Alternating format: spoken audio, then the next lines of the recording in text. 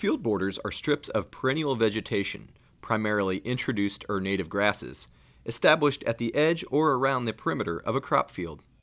To meet the NRCS conservation standard, field borders must be a minimum of 30 feet wide and wide enough to turn farm equipment. Field borders help control sheet, rill, gully, and wind erosion at the edge of a field. This is an area where end rows would typically run up and downhill. Field borders also help provide a runoff filter to improve water quality. They offer food and cover for wildlife and pollinators, and in some cases, these strips of grass and legumes may even be harvested. To maintain the integrity of the field border, farmers should shut off farm chemical sprayers when turning on the field border. Farmers should also shape and reseed border areas damaged by storms, animals, chemicals, tillage, or equipment traffic. Another common issue with field borders is planting your end rows up alongside the field border. This can cause ephemeral gullies right next to your headland.